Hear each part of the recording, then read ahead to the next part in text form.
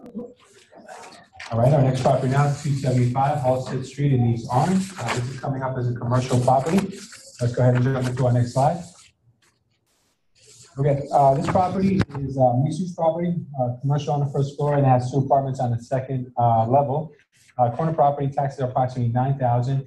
Uh, Just so happens that this property uh, was or is listed by my office, so we know a lot about this property if anyone is interested. Uh, It is in in turnkey condition. There are occupants in the house already, and they're all paying. Uh, The current market value for a home in good condition like this would be about two hundred and forty thousand.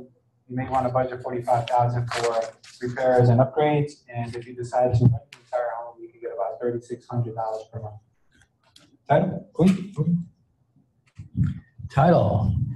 So the mortgage on this one, you're not showing me a mortgage.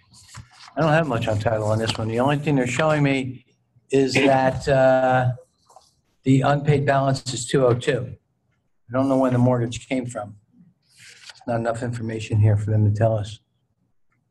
My guess might be 2015, there was a deed of transfer for about 170. Um, that might be where the mortgage lays, around that amount. Uh, Check your taxes on it, but with the information you're saying, it's turnkey, it's all rented. Completely. I mean, you get this at sale, you already got an income. Jim?